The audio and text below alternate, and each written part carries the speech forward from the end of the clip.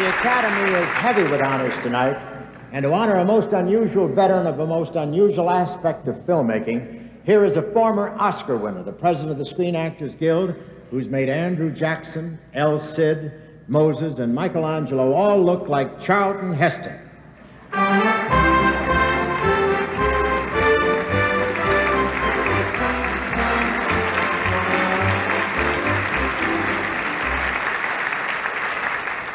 Thank you, Bob. Half a century ago, a 22-year-old cowboy with both brains and guts stepped in front of a movie camera for the first time.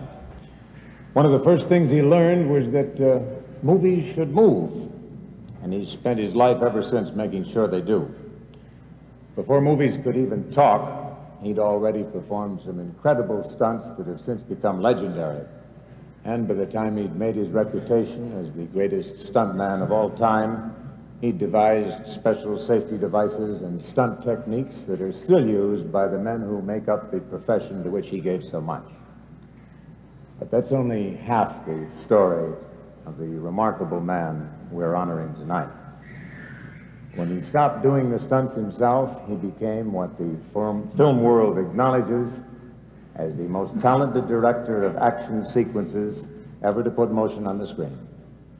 Take any half dozen of his credits Boomtown, Ben Hur, Stagecoach, El Cid, Gone with the Wind, Khartoum, and you'll see some of the reasons why the board of directors is honoring him tonight with this special award.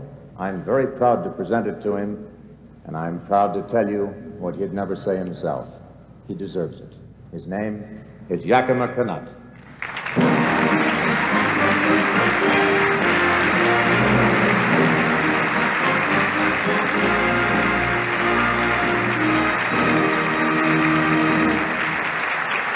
Thank you. And I want to thank the uh, Academy. Uh, not so much,